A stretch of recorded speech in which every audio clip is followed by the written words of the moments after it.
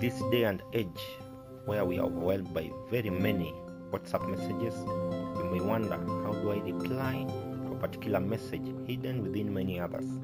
Wonder no more. Simply highlight the message you want to reply to. On top, you'll see the backward facing arrow, which is the reply icon. Select it, then simply reply to that particular message. That way, your recipients will be able to easily know which message you're making reference to when they select on that.